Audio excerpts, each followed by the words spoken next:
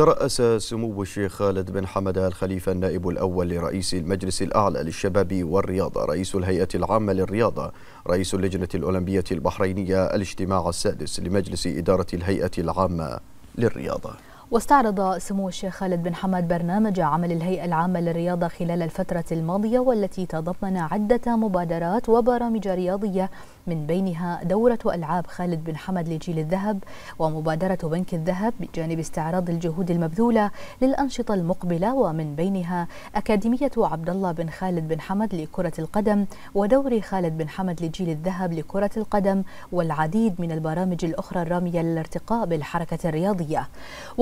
سموه بتكثيف الجهود للعمل على خصخصة المنشآت الرياضية كما وجه سموه بإصدار لائحة لائحة تنظم الاستثمار الرياضي واطلع سموه على تعديلات اللائحة النموذجية للأندية الوطنية. كما تم استعراض تقرير عمل اللجنة التنفيذية لدورة الألعاب المدرسية الدولية البحرين 2024 والتي ستنطلق خلال الفترة من الثالث والعشرين وحتى الحادي والثلاثين من شهر أكتوبر الجاري وذلك برعاية سامية من جلالة الملك المعظم.